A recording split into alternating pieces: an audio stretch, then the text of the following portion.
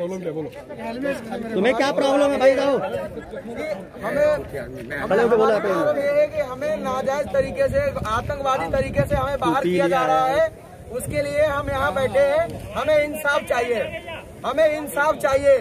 हमें इंसाफ चाहिए। यहाँ पे बहुत गंदी तरीके से वर्करों के खिलाफ एक्शन लिया जाता है।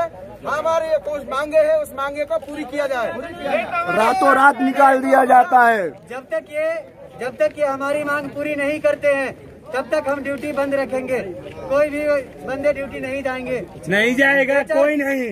हमारी मांगे हैं डिपार्टमेंट के पाँच लोगों का हिसाब। वो पाँच लोग जब तक नहीं निकलेंगे तब तक हम सब ड्यूटी नहीं करेंगे। नाम। पाँच का नाम शेयर करो। पा- वो पाँचों वो पाँच का नाम है। चार चार मिनट वो पाँच का एचआर डिपार्टमेंट का नाम है। एक का है संतोष स्वाइन। दूसरा है मधुवल। तीसरा है रा, राजेश पटेल।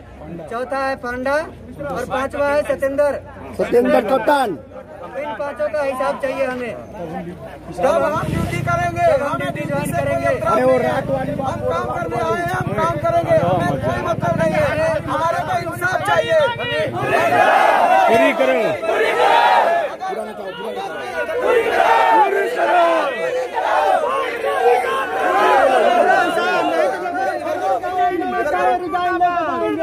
अगर अगर अगर हम जाने के लिए भी तैयार है हमें उन पाँचों से कोई मतलब नहीं हमें कंपनी से कोई मतलब नहीं। अगर हमें निकालना है हम जाने के लिए तैयार है सब जाएँगे लेकिन तीन महीने की सैलरी मिलनी चाहिए और एग्जैक्टली तुरंत मिलनी चाहिए। हम जाएँगे। मिलनी चाहिए।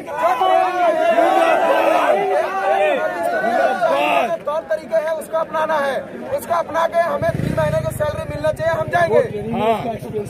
जो ट्रेनिंग में है उसका एक्सपीरियंस लेटर जैसे जैसे जो कायदे कानून का होता है जो कायदे कानून जो रूल रेगुलेशन होते हैं वो सब फॉलो अप होते हमें कागज़ी कार्रवाई का साथ मिलनी चाहिए।